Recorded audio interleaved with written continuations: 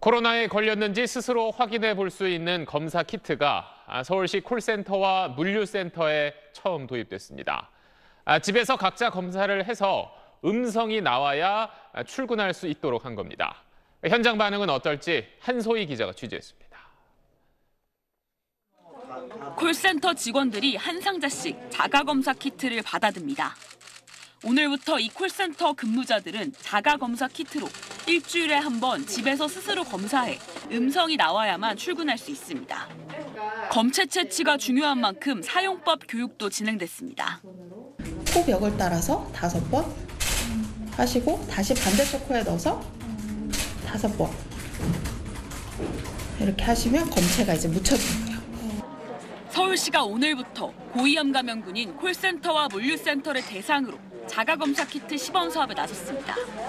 콜센터에선 전체의 3분의 1 정도인 290여 곳 2만 3천여 명이, 물류센터는 3분의 2 인원인 6,200여 명이 5주간 시범 사업에 참여합니다. 첫날 반응은 긍정적입니다. 콜센터가 위험 직군의 하나의 직종이다 보니까 마스크를 쓰고 있으면서도 불안한 감이 있어서 지금 바로 바로 코로나 뭐 이렇게 음성으로 확인되고 빠른 조치가 될 거라는 생각에 직원들은 반응이 좋습니다. 빠르고 편하지만 결과를 맹신해선 금물입니다.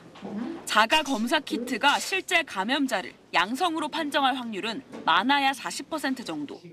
보조 수단으로만 써야 합니다.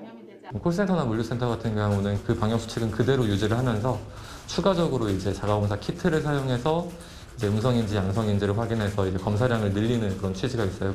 서울시는 자가검사 키트를 기숙학교에 도입하는 방안을 교육당국과 논의 중인데 시범 사업 결과에 따라 민간과 공공으로 확대 여부를 결정할 방침입니다. SBS 한소입니다. 네, 안녕하십니까. 김현우입니다. 더 많은 뉴스와 라이브 이벤트를 보고 싶으시면 화면 오른쪽을 눌러서 구독해 보시길 바라겠습니다. 또 저희 SBS 앱을 다운로드 하시면 속보 알림도 받아 보실 수 있습니다. 항상 저희 SBS 뉴스를 시청해 주셔서 대단히 고맙습니다.